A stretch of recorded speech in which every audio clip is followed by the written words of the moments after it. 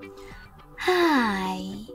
In front of me is Xiaomi Redmi Note 12 and today I would like to show you how you can change display refresh rate of this Xiaomi.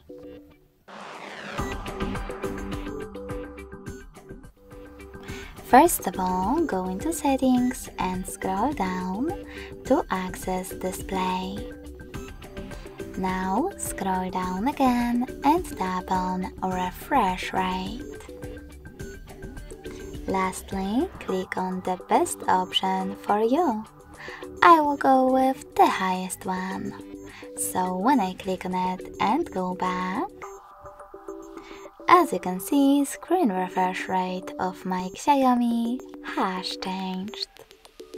Thanks so much for watching. If you enjoyed this video, smash that like button, comment and subscribe. Bye!